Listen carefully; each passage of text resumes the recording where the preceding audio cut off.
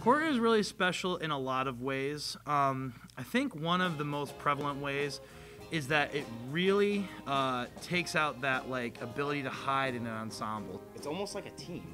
It's because you look at wrestling. There's a lineup, and everyone's got a different weight. When you come to KORT, everyone's got a different genre.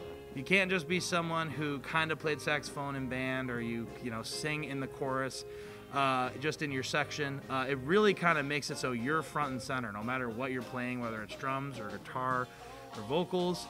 Compared to like having a chorus concert or a band concert, KORT is mostly student run, and you have a lot more musical freedom with your group to be able to pick songs you really want to do and work with people you like and work on songs you enjoy with each other. Every single moment, it's like you have a solo, because without your instrument, not everything's going to come together.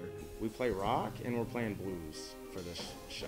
We're playing Weezer, Hol- uh, Green Day. The audience can expect a really good show. We have a lot of good bands, a lot of really nice songs, a lot of rock, um, pop, punk, even. Um, we even have some new secret uh, performances that have never been seen at a KORT show ever. I think one of the greatest things it offers is confidence for kids and the ability to like have that place in a band and to not be just a face in the crowd, to be the bass player, to be the drummer, to be the vocalist. I think is such an incredible opportunity. And I think that's why we have people coming back to this program year after year.